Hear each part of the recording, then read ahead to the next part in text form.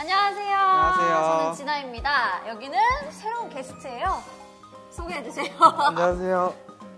저는 현재 패션 디자이너로 일하고 있고 블로그로도 일하고 있는 박서윤이라고 합니다. 그리고 저랑 친한 동생이기도 하죠. 네, 정말 친합니다. 이번에 다가오는 2015년의 트렌드에 대해서 여쭤보고 싶어요. 네. 먼저 컬러 트렌드는 어떤가요? 음, 제가 생각하기에는 매년 트렌드가 변화가 되고 있는데 그래도 계속 대세인 black과 white라고 생각을 해요. 계속 꾸준히 black and white는 인기가 있어 왔던 것 같은데 그러면은 뭐가 다른 점이 있나요? 제 생각에는 실루엣, 소재, 그리고 패턴이 다른 것 같아요. 그래서 저희가 얼마 전에 쇼핑을 다녀왔죠. 네. 쇼핑을 가서 저희가 black and white라는 트렌드에 맞는 쇼핑 아이템들을 구매를 했습니다.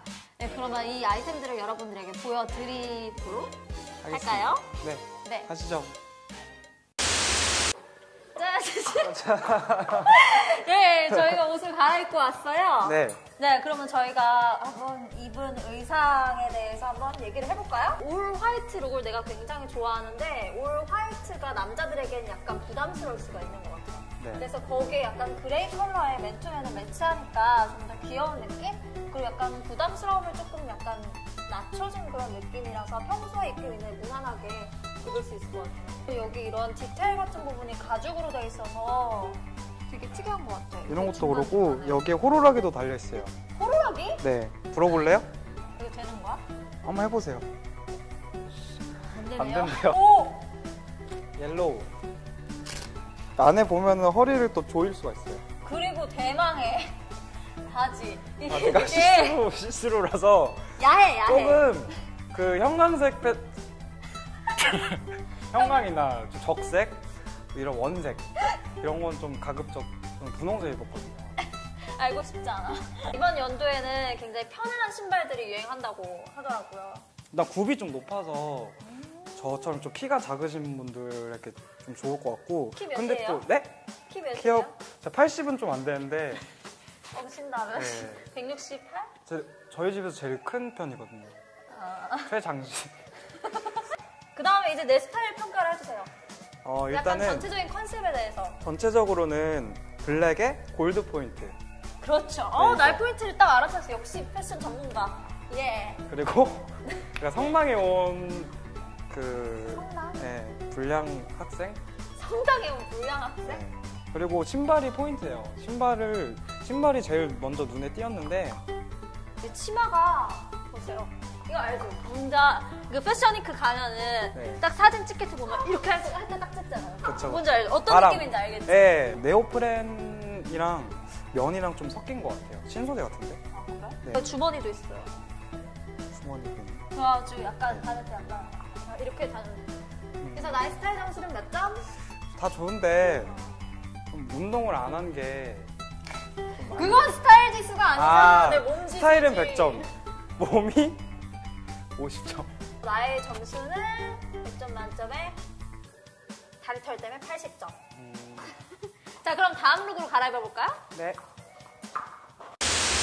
짠! 짠. 네, 이번엔 두 번째 코디입니다. 그렇습니다. 일단 저부터 먼저 보여드릴까요? 일단 아까 똑같은 치마인데 거기에다가 이 티만 바꿔 입었어요. 여기다 여기 올빼미? 부엉이?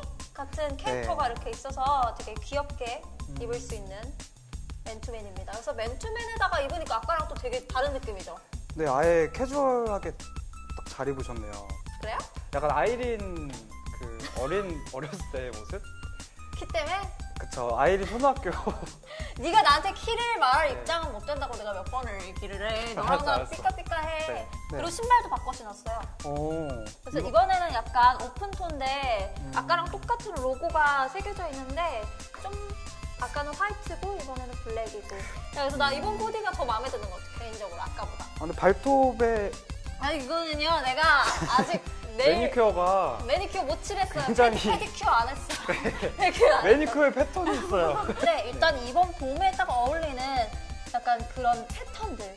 그렇죠 black and white인데 여기에 이렇게 패턴이 들어가 있어서 굉장히 감각적이고 어, unique한 느낌이 나는 것 같아요. 그리고 여기 실루엣이 굉장히 독특한 게 여기가 쇄골이 이렇게 파여져 있어요. 간지러워. 그래서 네. 여기 쇄골이 파여져 있어가지고 이렇게 쇄골에 자신 있는 남자들이라면 네. 약간 좀 뽐낼 수 있는 섹시하게 입을 수 있는 바지를 입어봤는데 오히려 이렇게 패턴이 있다 보니까 긴 바지로 좀 댄디하게 입- 입으려고 해봤어요. 옷은 90점, 옷은 90점. 알, 알겠습니다. 코디는 그리고- 50점, 네. 코디는 50점. 음, 네, 패션 전문가님 어떻게 되신 거예요?